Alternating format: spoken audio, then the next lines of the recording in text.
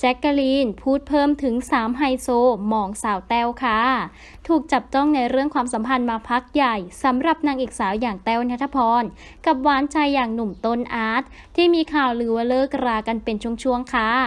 ล่าสุดสาวแต้วได้ออกมาเปิดใจผ่านทางรายการ รีวิวบันเทิง ถึงเรื่องราวความรักค่ะ โดยยอมรับว่าลดสถานะจากแฟนเป็นเพื่อนกันแล้วค่ะ นักข่าวตัวแม่อย่างแจ็คเกอรีนไทยรัฐได้ออกมาเปิดตัวย่อและให้ข้อมูลสามหนุ่มไฮโซ รุมจีบสาวโสดหมาดๆที่เนื้อหอมฟุ้งที่สุดในนาทีนี้ค่ะ นั่นก็คือสาวแต้วนัทพรเตมีรักหลังวงใน ได้ออกมาปล่อยข่าวลือ ของสามหนุ่มที่แข่งกันรุกส่งขนมจีบให้กับสาวแต้วแบบรัวๆคนแรกแจ็คกะลีนได้บอกว่า หน้าเป๊ะ แถมรวยล้นฟ้า เคยมีแฟนเป็นนางเอกระดับแถวหน้า ตัวสูงมาก มีธุรกิจเยอะ มีธุรกิจอาหารแต่ไม่สามารถบอกอักษรย่อได้ เพราะถ้าบอกไปคนจะรู้ทันที แถมหนุ่มคนนี้เคยมาเยือนรายการอีกด้วยค่ะ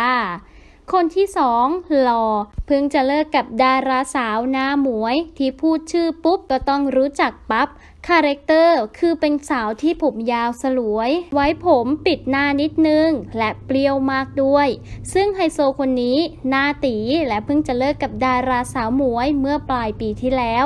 ก่อนจะเลิกกับดาราคนนี้ก็เคยทำงานวิ่งด้วยกัน ซึ่งดาราสาวหน้าหมวยคนนี้มีอักษรย่อคือสอเสือค่ะ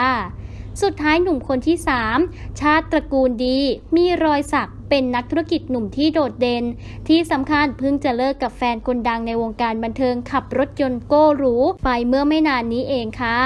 แหมเรียกได้ว่า โสดปุ๊บ สาวแต้วก็เสน่ห์พุ่งร้อยแรงม้าปั๊บเลยทีเดียวละค่ะ